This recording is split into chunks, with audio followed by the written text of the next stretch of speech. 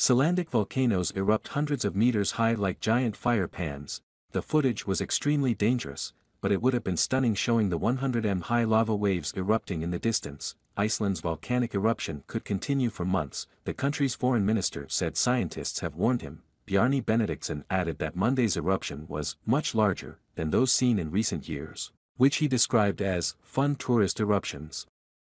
What to expect for the future? What they are telling us is that this could continue for weeks or maybe even months, Mr. Benediktsson warned, this is an extremely dangerous volcano and it is continuously active.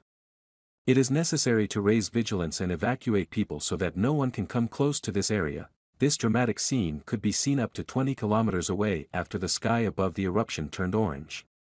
You can watch a live stream of the eruption in action here. It comes as more vents are expected to open as the volcanic eruption in southwest Iceland continues, the Icelandic Meteorological Office has warned, three of five vents remain active after a volcano on the Reykjanes Peninsula began erupting on Monday night, spewing lava and smoke more than 100 meters into the air. Meanwhile, experts warn that the eruption could last several months because people in the town of Grindavik have evacuated. It's sad that they weren't able to return home for Christmas.